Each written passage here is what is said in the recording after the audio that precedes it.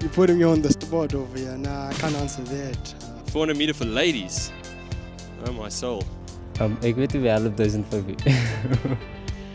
Sure. 800 meters. Wow. Die beste een op die dag.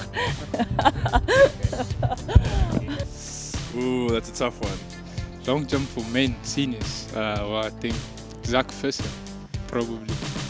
Yes, that's going to be a tough one, but I think uh, Khotso, Khotso does the long jump, he'll take it. But then if he doesn't, Rushwal is looking good. I think it's obviously that um, Wenda Theron will win the hurdles by far because he's in a league of her own. She can compete with some of the guys, so she's really something special.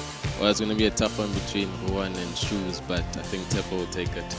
Ruan Befies is much, much more uh, uh, mature at the moment.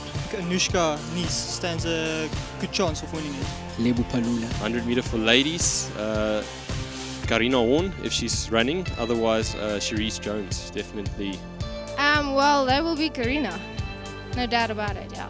If Carina Horn is running, I think she'll take it. Well, at this stage, Polferman does look like the favourite. Chris, I, th- I think Chris will take it, but I think uh, uh, Makete, I think he's very good. He's coming up close, and I hope he goes over 70.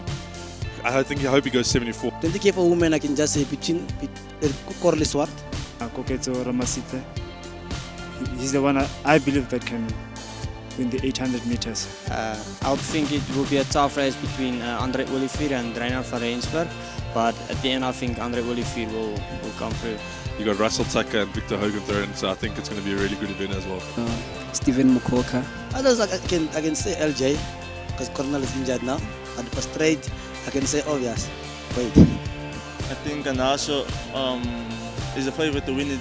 Right now, my mind is on Akani Simbine. Obviously, Akani, you know, Lebuhamboing, wait for Nick will be there, and obviously the big gun Anaso. So everybody will be looking at Anaso, but hey, hey, we'll see. It depends if uh, Jobodwana and Titi will come to essays, but if they don't come, uh, obviously Akani is gonna take it.